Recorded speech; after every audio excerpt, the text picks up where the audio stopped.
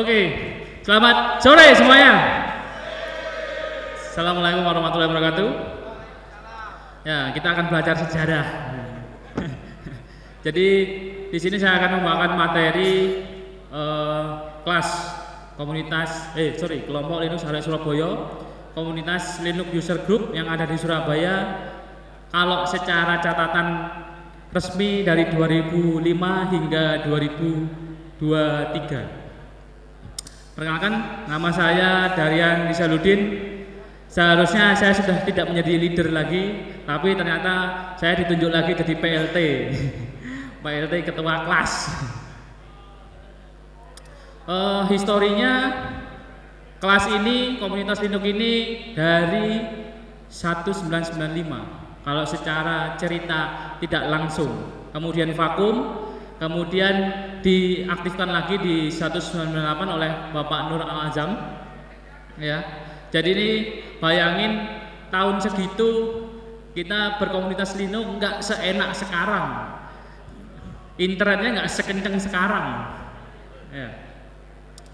Nah ini kalau yang secara catatan resmi domain kelas.org tadi ini didaftarkan di 2005 sampai sekarang aktif kalau di situ akan expired di 2026 dan ini masih dihandle terus oleh rekan-rekan kelas yang selalu meluangkan waktunya terus eh, tenaganya, mungkin resource-nya, materialnya untuk mensupport komunitas-komunitas atau berkontribusi di event open source seperti ini.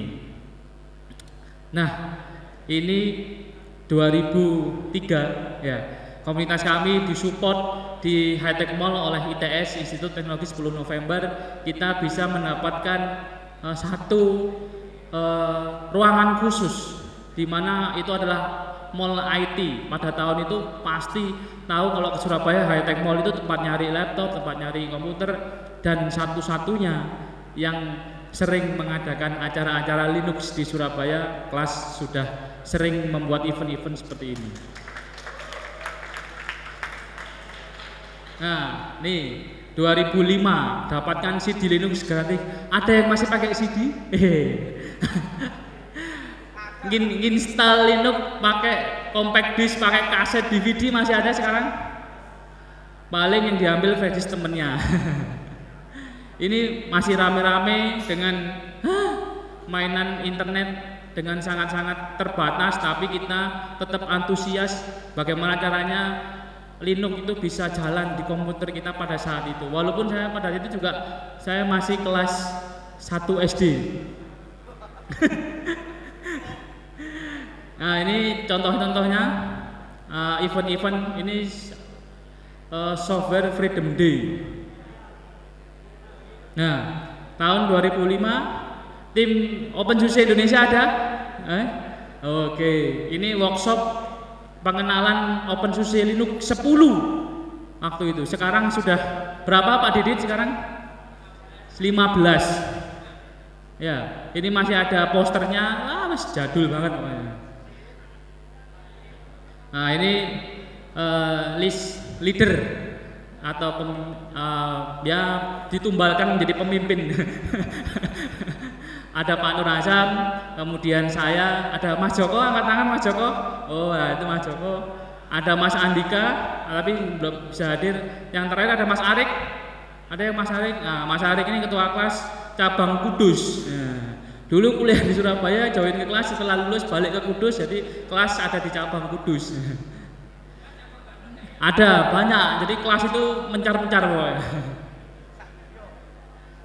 Nah, Bagaimana kelas bisa bertahan dari 2005 sampai sekarang atau mungkin dari 95 sampai sekarang kiat-kiat apa yang bisa uh, dipahami? Yang pertama kami sulit menemukan kader-kader yang mumpuni ya.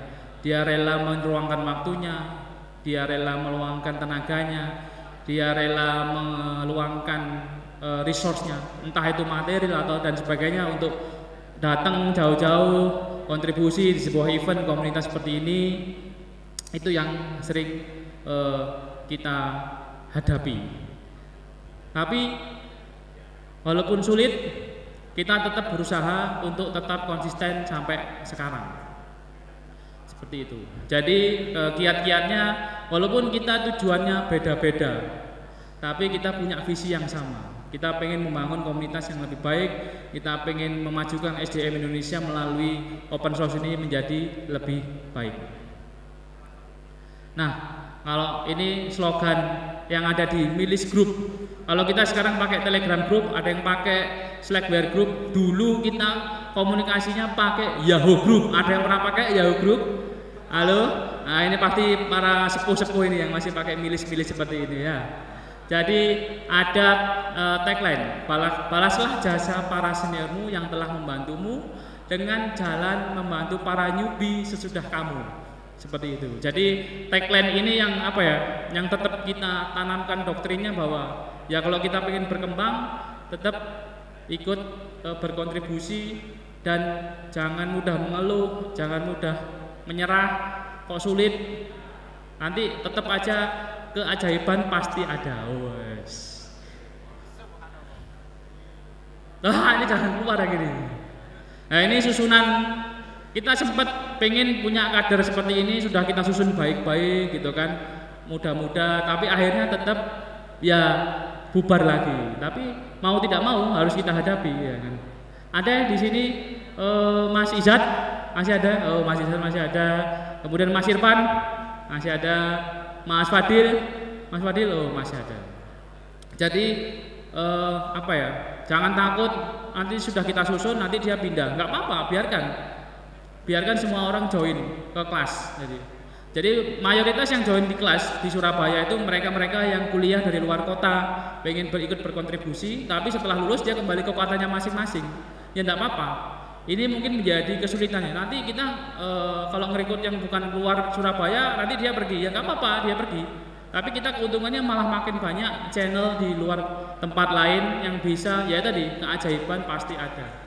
Tahu-tahu kita ke Semarang, event di Semarang, ada teman-teman kelas yang dulu join di Semarang, akhirnya e, bantuin kita. Kita acara di Jogja, ada teman-teman kelas yang pernah join ke kelas, sekarang balik ke Jogja, ikut bantuin kita. Jadi hal-hal yang tidak terduga itu banyak terjadi. Nah, kelas juga e, ikut e, dalam kontribusi e, layanan publik melalui open source. Kita punya repo official yang dinamai oleh buaya.class.or.id. Ini aktif dari 2007 dan e, mendukung distro-distro yang bisa kami dukung. Karena memang saat ini kapasitasnya 12 tera ya Mas Fadil ya. Terakhir 12 tera ya. 12 tera dan hampir penuh seperti ini. Kemudian kita juga punya uh, shortlink uh, sclass.org.id ini launching di 2018 dan ini akan gratis untuk selamanya selama kita mampu, selama kita punya sumber daya, ini akan kita gratiskan untuk komunitas dan sudah banyak teman-teman komunitas yang menggunakan Soslink ini untuk event-event uh, yang dipakai. Nah, kalau yang cangkruan kelas ini merupakan uh, event bulanan rutin yang kita uh, agendakan untuk menjaga semangat kita jangan sampai kendor. Nah, begitu kita kendor, begitu kita malas, langsung kita kumpul. Begitu kita e, malas lagi ngopi lagi. Jadi ini kita jaga dengan acara rutin. Walaupun hanya hadir tiga orang walaupun hanya hadir dua orang kita pernah cangkruan se, se apa ya sedikit karena kadang-kadang ada teman-teman e, komunitas yang nanti yang datang cuma sedikit mereka pasti takut seperti itu ya nggak apa-apa yang datang cuma sedikit ya nggak apa-apa yang penting komitmen untuk membuat acara dan nanti Dokumentasi itu dikumpulin. Oh iya, komunitas ini eksis bagaimanapun caranya.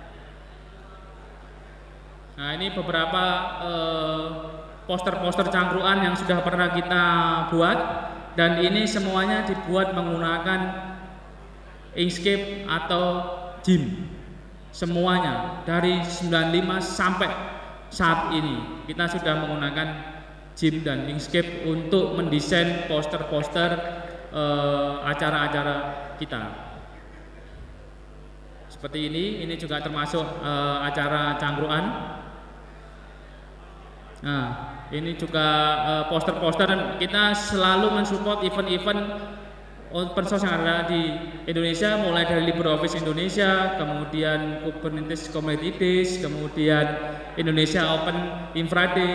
Kami pasti kalau bisa turut ikut membantu di acara tersebut. Oke, terima kasih. Sekian dari saya karena materi waktunya sudah habis.